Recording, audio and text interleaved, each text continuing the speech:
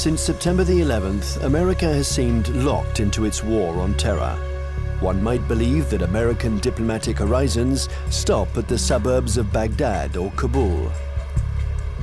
But while focusing on the vestiges of the World Trade Center, the country is secretly preparing for a new conflict, an undeclared war, but one that is the top priority for the intelligence community and the White House. Ahead of Al Qaeda, more important than the quagmire in Iraq, the Chinese threat, America's new war.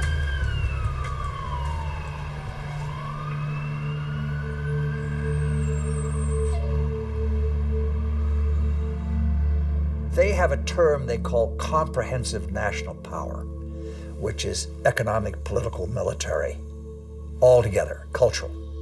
And they say this is the essence of China. This is the time for China to rise. Our time has come. This is the Tang Dynasty again. We are a great power. We are a world power. They are playing the old Sun Tzu game, winning the fight without firing a bullet, or that isn't what Sun Tzu said, but win the battle without losing men. That's the best way of winning. And I think this is, they're very conscious of this. But they're willing to fight.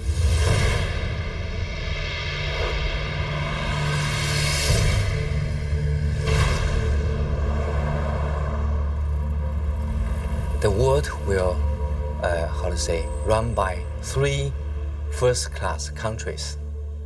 One is USA, United States of America. Another is USE, United States of Europe. Then the Greater China. Um, at this point, at current uh, point, I think um, the possibility to see a USE is very slim. Um, but the USA stay as top one country is something sure, right?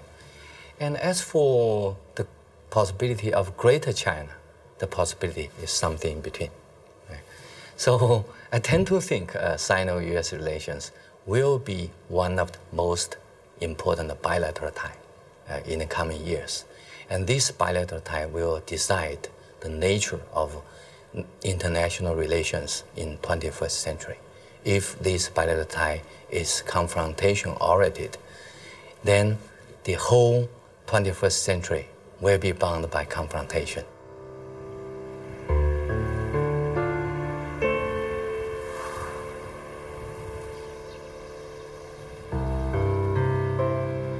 Kinmen Island, the actual frontier between the two giants, and where the ultimate confrontation may take place. This little island belongs to Taiwan, but it is only two kilometers from the Chinese coast. From here, one can see the inaccessible banks of Fujian province, where hundreds of ballistic missiles point at Taipei.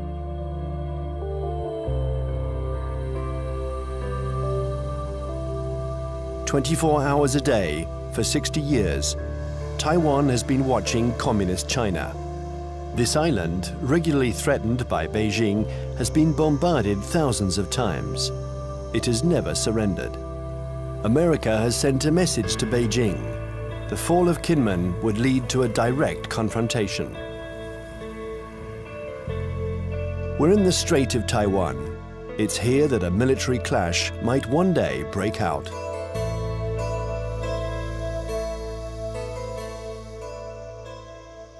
Taiwan is one of those emotional hot button issues, the way Jerusalem is to Palestinians and Israelis, the way Kosovo was to the Albanians and Serbs.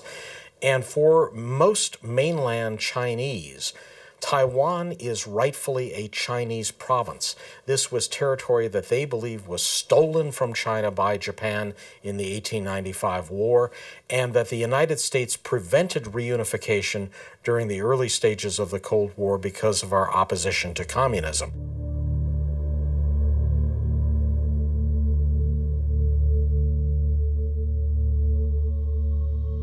In 1996, here in the Straits of Taiwan, China and America engaged in their biggest military standoff. The ongoing elections in Taiwan annoyed the regime in Beijing. So the Chinese army decided to launch huge military maneuvers to test the Americans' reaction.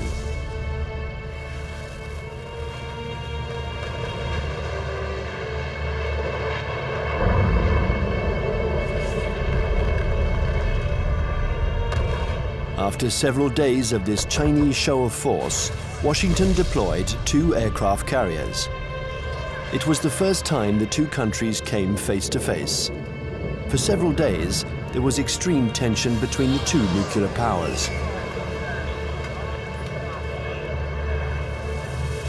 When the Chinese fired short-range ballistic nuclear-capable missiles off the north and south coast of Taiwan carried out a major, what we call a live fire exercise.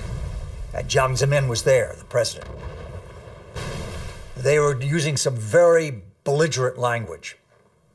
This is when we dispatched two carrier battle groups off the East Coast. And this was a show, this, this was force. And uh, the matter quickly dissipated. The Chinese thought this was excessive. They thought that they had an understanding with the U.S., that they would have a limited display to show their seriousness on the issue. The U.S. would adopt a very limited response, and then they would both back away. They regarded the deployment of a second carrier as excessive and in some ways as humiliating to the Chinese because the Chinese couldn't do much to deter or complicate the deployment of those carriers.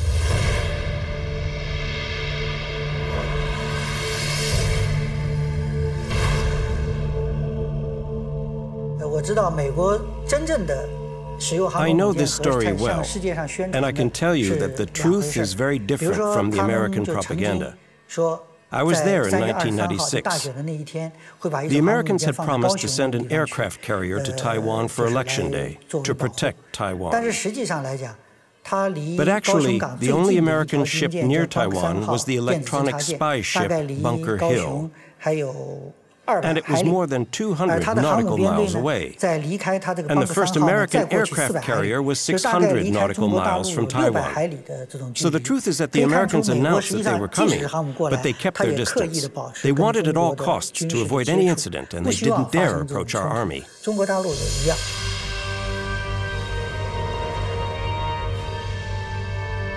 Even if the Americans didn't take much of a risk, in the eyes of the world, they reaffirmed a sacred principle of their foreign policy. They support Taiwan. And they will continue to do so regardless of China's growing power. I think believes Taiwan is very important for a number of reasons, uh, not to mention the fact that it's our eighth largest trading partner, our sixth largest market for agricultural goods. It's one of America's uh, most important sources of high tech semiconductor products. Even though they're imported to the United States via China, they're made in uh, Taiwan. But that, of course, isn't the only thing. The, the real reason I think America has a commitment to Taiwan is because Taiwan is a democracy. It is, in fact, the most vibrant and dynamic democracy in East Asia. And it's a democracy that, that came to fruition under the pressure of the US government, primarily the Congress, um, after 40 years of uh, very tight authoritarian rule by uh, a regime that came from mainland China. I think, however, the real reason that the United States especially the Pentagon, is so concerned about Taiwan, is that it has been a very strong defense and intelligence partner for the last 50 years, including the last uh, 30 years since uh, the breaking of relations with the Republic of China and Taiwan. We have still maintained a very strong defense relationship and a very strong intelligence collection relationship with Taiwan. I would say the United States is committed to Taiwan. This goes back historically a long, long way. World War II, we were there. And uh, we were looking for a strong, unified, democratic China. Well, we got two thirds of it strong and unified, not democratic. Now we're calling China a responsible stakeholder. We've got half of it. We've got a stakeholder, but not a responsible one yet. U.S. feels that we have an obligation, legal, moral, to Taiwan, that we cannot stand idly by and let this be taken over by what looks like an authoritarian, communist influenced power. This cannot be.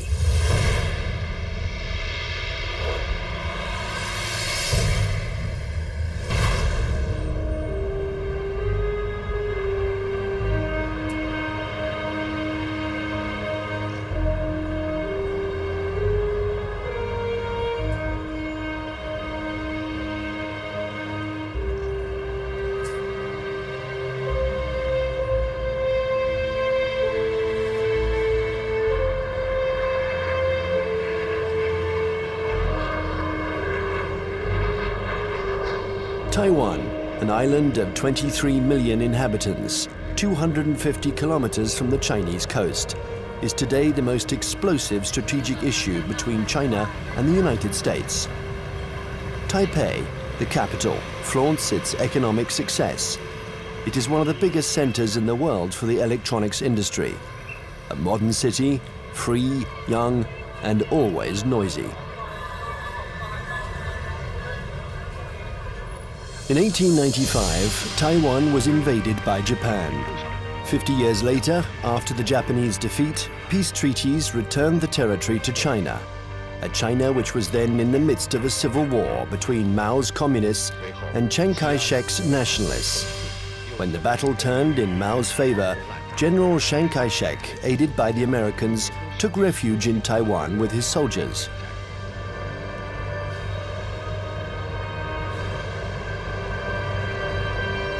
Since then, two Chinese governments have coexisted. In Beijing, the communist regime that controls the entire mainland. And in Taipei, the nationalist regime, having become little by little a democracy, calling itself the Republic of China, which rules only Taiwan. Officially, these two governments both claim to be the legitimate representatives of all the Chinese. Taiwan is not recognized as a state by the UN, only 20 small countries maintain diplomatic relations with the island.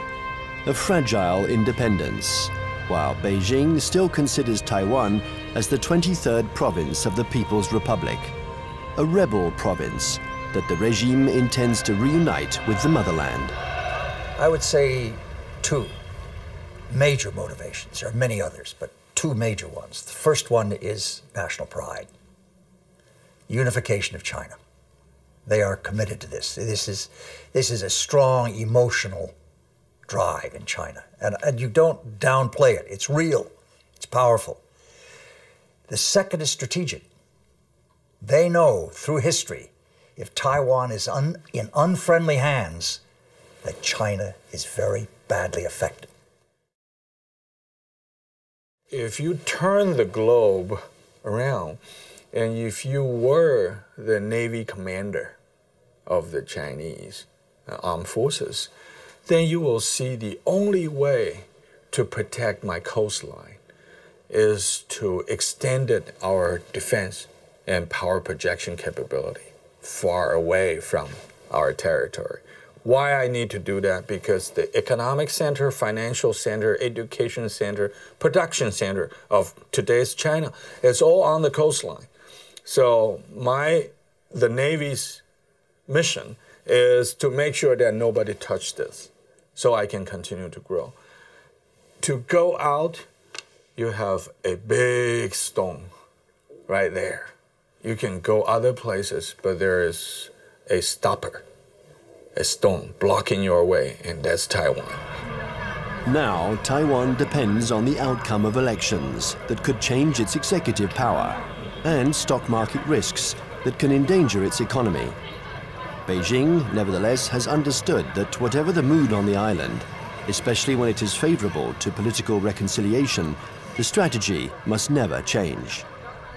Imperturbable, the communist regime continues. On one hand, to offer Taiwan favorable business privileges on the mainland, on the other hand, it regularly reiterates its military threats. If the Taiwanese are too insistent about their desire for independence, they're going to have to fight for it. Whatever Taiwan's political tendencies, Beijing's position doesn't change one iota.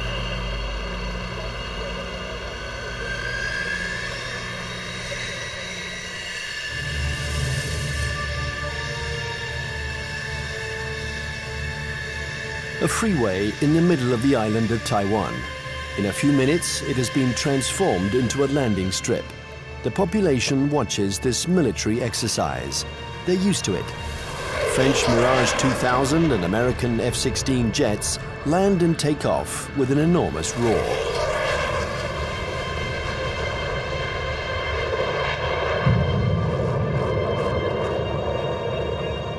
Faced with the uncertainty of American support, Taiwan organizes its own defense.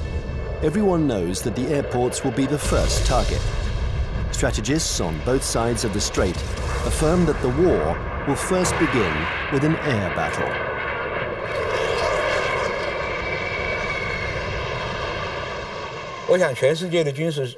I think that experts the world over know that it's very difficult to succeed with an invasion. We still remember Normandy. In a strait like ours, it's what's in the air that will make the difference. And we've always tried to keep a strategic advantage over China, our air superiority. But with the Chinese missiles, this equilibrium has been put into question. They can destroy our airports. And if they are destroyed, we lose our only advantage over China, our air superiority.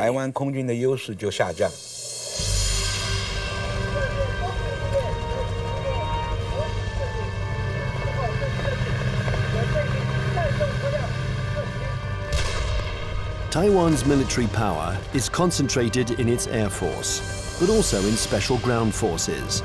They are training to face the Chinese People's Liberation Army. In the event of a conflict, they expect elite Chinese troops to parachute onto the island to attack strategic targets. Every Taiwanese people here knows that when the war comes, Taiwan is going to take the first bullet. We are going to take the first bullet, and probably we're going to take the, the bullets continue for about two weeks until a month, until that the United States uh, coming. And there's no way the U.S. is come, will come here to fight a difficult fight. If, if they really want to get involved, it's better for them that to wait when the Taiwanese people, we are wearing down the Chinese elite troops and uh, give them the huge, uh, give them the huge uh, number of the sacrifice. And then the U.S. can come in and clean out the battlefield and win an easy fight. Everybody in Taiwan knows that.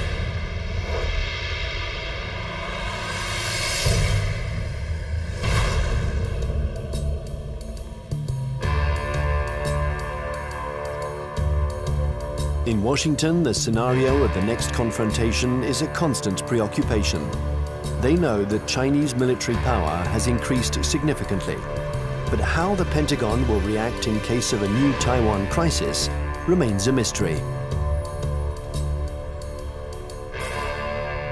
It's certainly not automatic, uh, the support for Taiwan. It never has been. Uh, the United States has always maintained a policy of so called strategic ambiguity uh, in which uh, neither Beijing nor Taiwan can know clearly what the U.S. response might be under any given set of circumstances.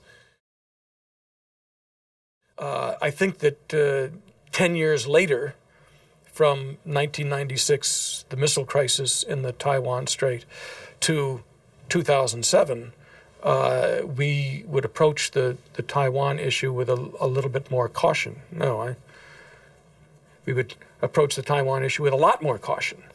Um, what this means, I think, is that we would be uh, probably resupplying Taiwan by air. Uh, we probably would put a uh, uh active duty military contingent on Taiwan uh, rather than risk putting our ships in, in harm's way. Coming away from this crisis, the U.S. has concluded that the Chi- I think there's been problems in what they've concluded the U.S. has concluded that the Chinese were somewhat intimidated by the, by the U.S. deployments, and that in fact they now know the U.S. is very determined to use force if necessary to ensure peace and stability in the Taiwan Strait. In fact, however, I don't think the Chinese were all that intimidated by the deployment of the carriers. What they were is they it strengthened their resolve to acquire capabilities so that they won't be intimidated in the future.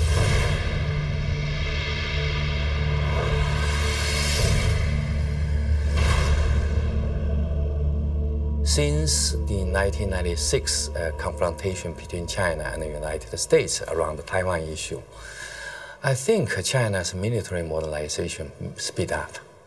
And we saw, people saw uh, some uh, achievements, right? Now China owns J-10. That's the typical sixth, third generation uh, fire, uh, fighter. And uh, that made China is the, the third country that can independently produce the third generation firefighter. I, I think that's a strong signal to the US side uh, what uh, achievement uh, on military modernization uh, on PLA side. If China's own terminal uh, objective is trying to so-called unify Taiwan by using force to take over, I think uh, their military capability is good enough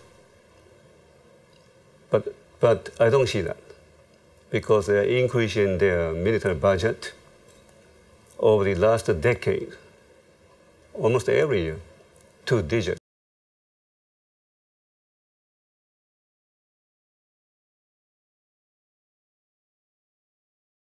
And their um, budget is not transparent.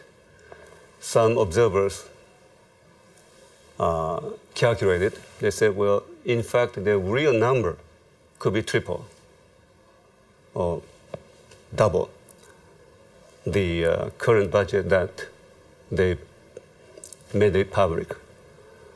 So why they are doing it? They, are, they even, for instance, now they even try to show off they have the capability to destroy the uh, satellite like, uh, circling around in space. Why they did it? Because they want to show to the rest of the world that we are capable of one day becoming a superpower, maybe overtaking the United States.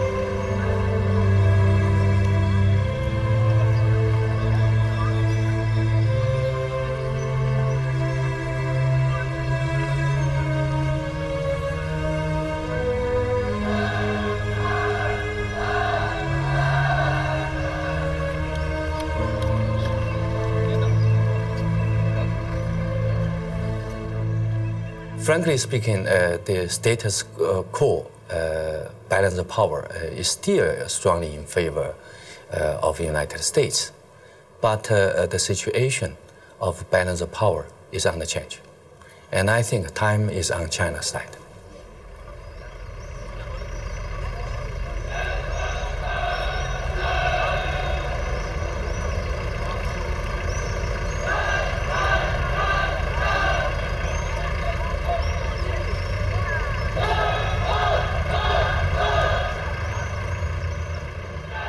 Since the 1996 crisis, the United States and China have often had occasion to test each other's resolve. Small conflicts, sometimes public, sometimes secret, that can be understood today as a pattern of confrontations between the two powers. On May 7, 1999, in the midst of the Kosovo War, NATO bombed the Chinese embassy in Belgrade three Chinese people were killed. NATO claimed it was a military error. CIA had apparently furnished the wrong maps. In answer to this provocation, the Chinese organized mass demonstrations in front of American embassies.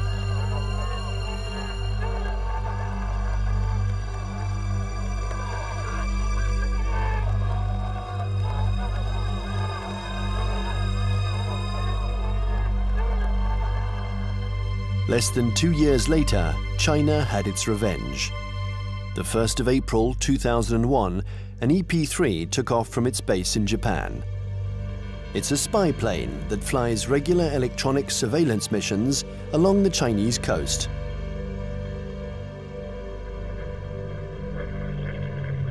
After six hours of flight, while still in international airspace, the American airplane was intercepted by three Chinese jets. This had been going on for some months. The Chinese planes came within a few meters of the American plane, a little game that the pilots were used to. One of the Chinese pilots was Wang Wei, and the crew of the EP-3 knew him well. He had already shown through his past interceptions of U.S. aircraft that he was willing to take some very serious risks in coming very, very close to U.S. aircraft. They knew him well. Smart Alec, hot dog, we call him. He's in the thing and screw you. And Sam, he comes up like this. Well, he comes a little bit too close. And the Chinese, again, the propaganda apparatus turns on, and they say, Our plane deliberately turned, hit his plane, and it crashed. Your fault. And we said to China, That defies the laws of physics. The US government had already expressed its concern over this to the Chinese government. I think in this instance, he miscalculated and he allowed his aircraft to get too close and it struck the US aircraft and it damaged his aircraft in a way that forced him to crash.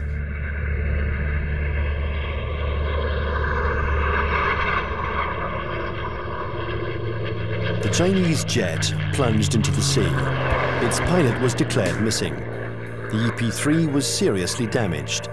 It was forced to make an emergency landing, but the closest airstrip was a Chinese military airbase.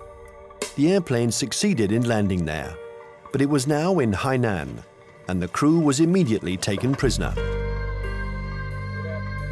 Our air crew is immune to PRC jurisdiction. For the next 10 days, China and the US would perform a diplomatic ballet, each accusing the other of responsibility for the accident. Beijing refused to liberate the crew. This bought time for their military experts to inspect and dismantle the American airplane, which was jam-packed with secret defense equipment. Oh, they got the equipment from the plane and they studied it and took all these things from it. Yeah, they got something. But I mean, it's no big deal. Finally, 10 days later, a letter from the US ambassador apologized for the death of the Chinese pilot, and the crew was freed.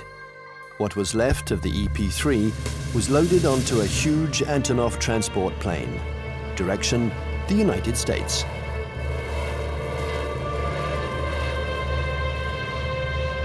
The People's Liberation Army did the same thing after each small battle.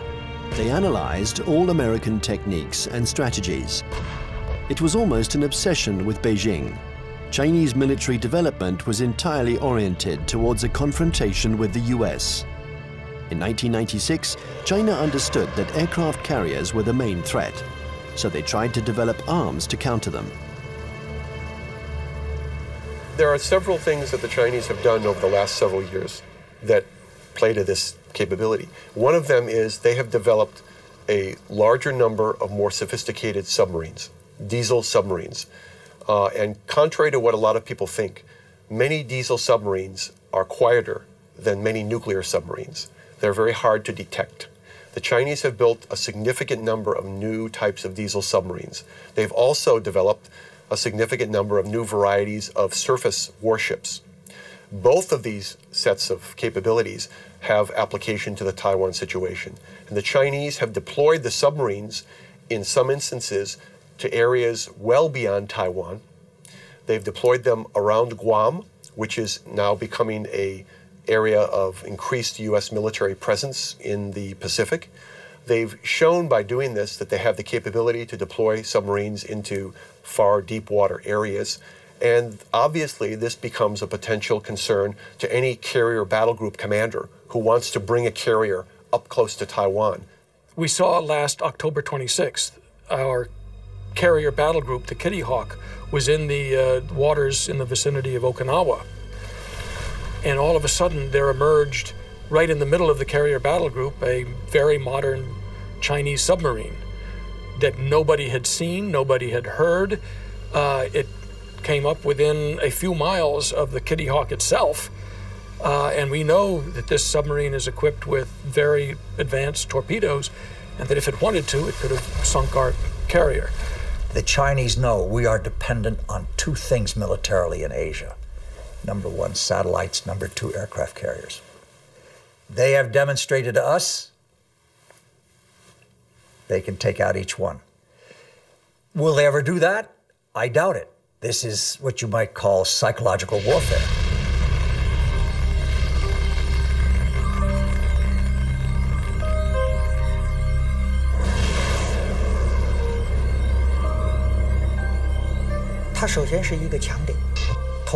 Satellites are an American strong point. But if you look closely, they can also be a weak point. The U.S. relies on satellites to control their entire communications network, and that's a weakness. Today, and we were able to verify this during the last conflicts, the American military depends too much on its electronics and satellites. This dependence reminds me of the Greek legend. The powerful Achilles, who was invulnerable, except for his heel. And satellites are a little like the American Achilles heel. The 11th of September 2006, the People's Liberation Army launched a missile that destroyed one of its own satellites. The explosion in space was obviously immediately detected by the Pentagon. There was consternation in Washington. Nobody had anticipated this Chinese initiative. The Chinese have had an anti-satellite program for some time now, and it's designed primarily to, um, again, to deter the United States or to complicate U.S. decisions in the event of a crisis. So yes, I think the recent sh shot by the missiles, uh, by the missile to fire against their own satellite and shoot down their own satellite, was designed to convey a signal to the United States about the fact that the Chinese are not simply going to sit back, in their view, and allow the U.S. to have predominant influence. They are going to try to influence the situation, uh, in this case, in sort of an asymmetrical way, by threatening uh, what is regarded as one of the uh, critical areas of U.S. surveillance. The Chinese army has also developed another system to blind American satellites. These are giant lasers that don't destroy them, but blind them enough to make them useless. This isn't science fiction, but a technology that is already in use. And then there exists a still more terrible weapon, a weapon that the Americans and the French have already mastered. Its development was a priority for the Chinese army. The Chinese have followed very closely the American um, dependence on the electromagnetic spectrum, the use of uh, communications and networking uh, among satellites and ships and command systems to, to fight a war. Uh, they saw what happened in the first Gulf War, they saw what happened in Kosovo, they watched Afghanistan, they watched the second Gulf War, and they realized that we are more and more dependent on the uh, electromagnetic spectrum and, and moving communications back and forth. And, and an electromagnetic pulse, which is produced uh, by detonating a nuclear weapon, usually fries transistors and stops that kind of communication. An electromagnetic impulse weapon uses a nuclear explosion to generate an electromagnetic wave. When this wave hits boats or planes, it instantaneously destroys all electronic equipment. No one dies, provided they are far enough away from the nuclear explosion. But the American battleships, totally dependent on electronics, would immediately be disabled. The Pentagon report described a nuclear uh, detonated or nuclear generated EMP. I asked people in Pentagon, why don't you say they have conventional generated EMP. They say, we don't want them to know whether we know them. The conventionally generated EMP is less problematic and it is more useful or more usable because when you have this EMP, there will be no nuclear fallouts. There will be less international protests. They already have it. I yes, it, it is. It is like shooting down the satellite, getting the submarine under the aircraft carrier. EP3 incident off Hainan. It is. Look, we mean business. You pay attention to what we're doing. We're publishing the figures that our military budget is going up because we are creating a strong defense against you. China's developing power isn't only military. The regime has understood that it has to make use of every citizen, every business, every organization in its confrontation with the United States. An arms race wouldn't make sense against Washington. It's a war to control energy, the media, culture, and raw materials. And facing an America that overconsumes, that is deeply in debt, an America weakened by its own excesses, China counters with its best weapon, its breathtaking economic growth. The new threat isn't the classic military threat, direct confrontation between one country and another. Today, it's no longer guns against guns, airplane against airplane, or tank against tank. Confrontation takes many forms, in many different areas. For example, in finance or the media, there can be attacks in all these areas. The object of these new kinds of conflicts is the same as in a conventional military confrontation, forcing the enemy to accept certain conditions. It's still war, but war today goes beyond this military domain. It's what we call an unrestricted war. One has to learn to decode the battles in this new war. Sometimes they are small events that seem harmless at first. Thus, on February 27, 2007, the main American stock indexes plunged. Paris had just lost 3%. New York is in an uproar. The cause of this mini crash began with a tornado that originated on the other side of the world, in Shanghai. Suddenly, and with no apparent reason, the stock market there lost 9%, and it took the whole planet down with it. Nobody really understands what happened, but in New York, they pondered the lesson China had just shown that it could use its new economic power to destabilize its adversaries, above all when they are weakened, like the United States, by the subprime crisis. Beijing uses economy in several ways. First, by influence. Well, in Southeast Asia, worldwide. They invest money when the leaders visit that capital. Then they sign some agreements. The second is what you said they would only hint at something they might do. For instance, the now 1.2 trillion US dollars foreign reserve of China as of the end of March 2007, 40% of them are deposited in United States Treasury bills. So if Beijing decides to transfer that to euros, it will be very painful to the United States. But Beijing doesn't need to say. It only hints here and there and Washington feels a big headache. Thus, China and America multiply their battlefields. There is the piracy of Hollywood DVDs, the recall of Chinese toys by American builders, the reception of the Dalai Lama in Washington, the buying up of oil companies by Beijing, hundreds of conflicts. China and America think that they have to dominate in order to survive US consumed over 35 percentage of the whole, how to say, global consumption, right? Eight times as their population percentage. Um, so they enjoy this position as the only superpower. Then they can get extra resources. So there is a bipartisan support stance for U.S. foreign policy. They will remain as the only world leader in the world. And then they will keep alert against any country, no matter the name of this country China, French, uh, Russian, Germany, uh, Indian, Brazil.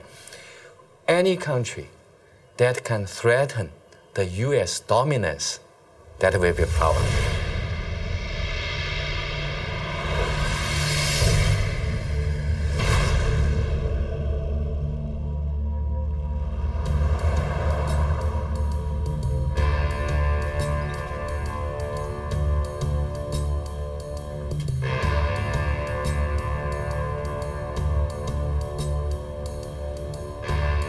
Washington, China has become the major preoccupation of every administration. China is a competitor in the realms of economics, media and technology. World hegemony is no longer measured by the number of nuclear warheads.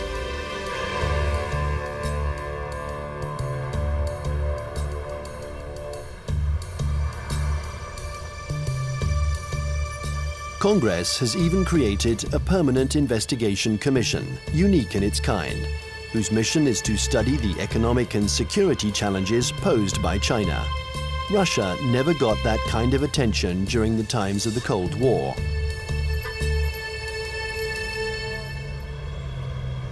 There is a global plan from China. Uh, they have two.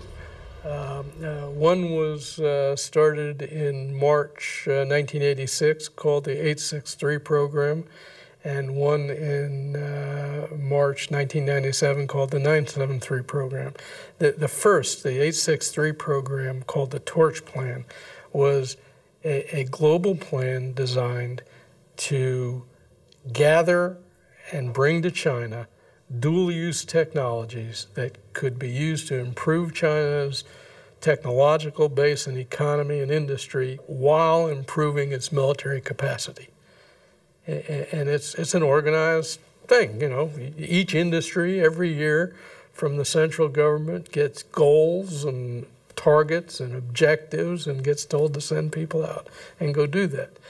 Uh, so it is organized, and, and, it's not perfect, but it's organized. And the 973 plan uh, is a parallel designed to improve their capacity in basic research and innovation. People in the States pay too much attention to China. Uh, so there are some uh, oversensitive uh, on China. Then this oversensitive leads to a lot of, how to say, over-exaggerate uh, conclusion. So that's no good uh, to find the real fact. Um, I think uh, the real fact is that uh, the economic uh, power of China is still far ahead of, uh, far lack of uh, United States, not to mention military power.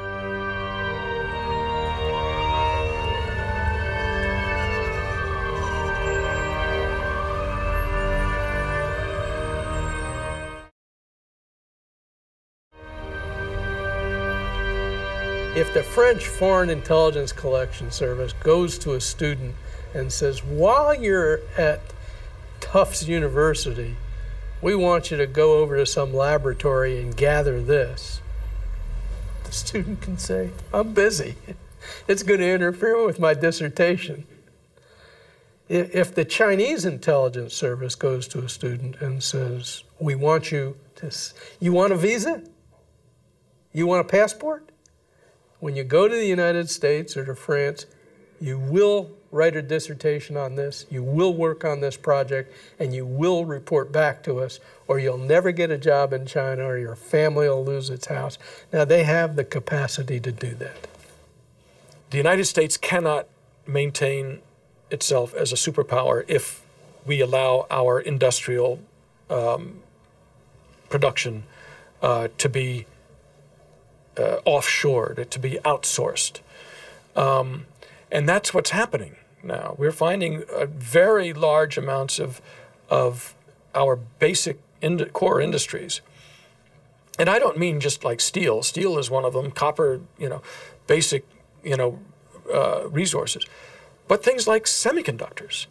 And when we find that our semiconductor industry has gone from 12, you know, state-of-the-art wafer fabs to three, um, because more and more are being built in Taiwan and Japan and, well, not in Japan, in, in South Korea.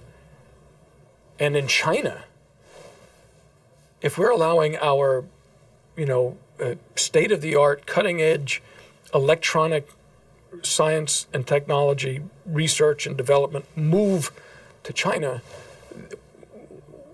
we, we can't survive as a superpower.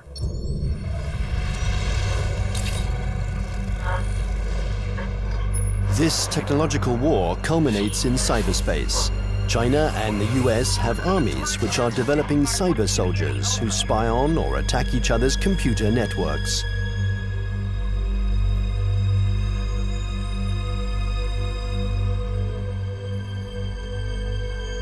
In March 2006, the US State Department decided to buy 16,000 computers from Lenovo, the Chinese company that had just bought out IBM. Some of these computers were meant for networks that circulate secret defense data. Larry Wortzel and his commission intervened to stop the delivery.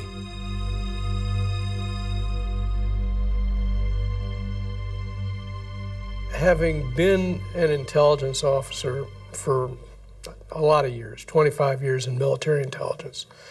Um, and having also, for a, a, part of that time, worked on counterintelligence and signals intelligence, communications intelligence, that um, I knew it was technically possible to alter or embed either software or even hardware into a computer that would uh, allow someone access to a whole network.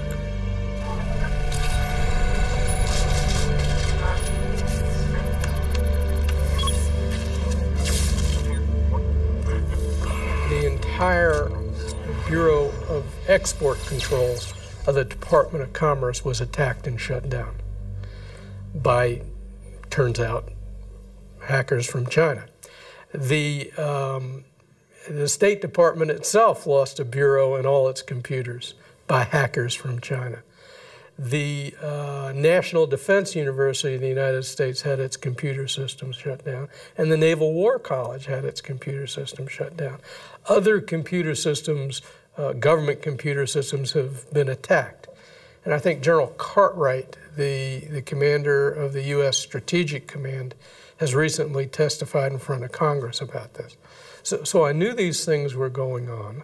Um, there's more going on uh, that uh, we learn about on the commission uh, because we do have access to classified information. Uh, I, I, can only say that in many cases, uh, the United States knows these attacks are coming from China and knows that they're coming even from specific organizations in China. But I, I can't go into the details on who. The war on the internet is as old as the internet itself. And one can't say that this was a Chinese invention. In America, the CIA and NASA employ 25,000 people to work on the internet. They have the largest internet surveillance and listening centers. So it's true, war exists on the internet. The war has begun without a single missile being fired, without the world noticing. The war has begun in all of these new technologies. Many civil technologies also have military applications.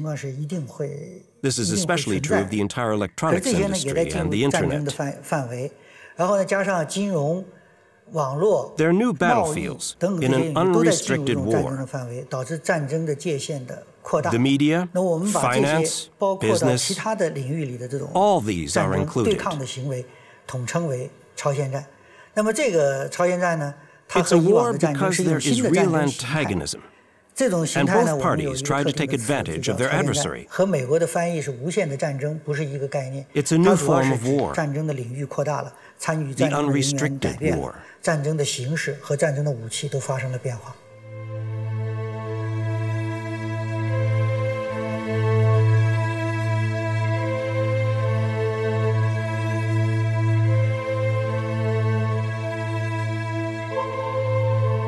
This unrestricted war has already begun. Almost everywhere in the world, there is a fight for oil, for water, for resources that are dwindling in the eyes of the West because of China's development.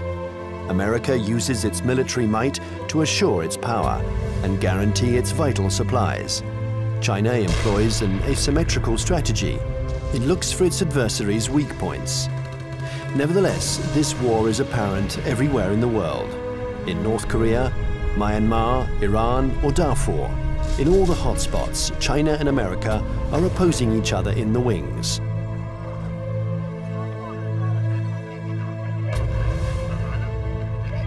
Remember the words of Deng Xiaoping, there cannot be two tigers on the same hill.